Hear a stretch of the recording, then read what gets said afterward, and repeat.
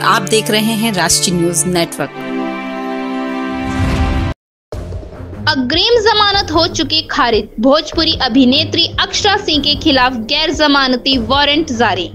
गया में पितृपक्ष के दौरान फ्री ठहरने की व्यवस्था है इस बार। जानिए कहाँ कहाँ मिलेगी ठहराव सुविधा। भागलपुर में भाजपा नेता पर हमला। पहले बम फेंका, फिर चाकू से गोद डाला। स्थिति है गंभीर।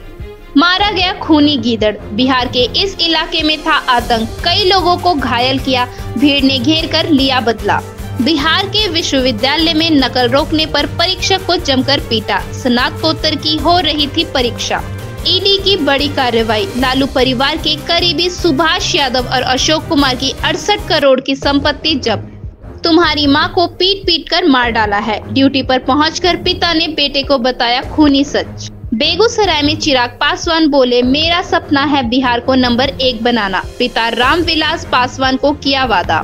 सरकारी अस्पताल में मोबाइल चोरी के नाम पर मरीजों में सिर फुटोवल चोर निकली सरकारी कर्मी। समस्तीपुर में संदिग्ध परिस्थिति में मजदूर की मौत, तगादा के दौरान महाजन से हुई थी कहासुनी।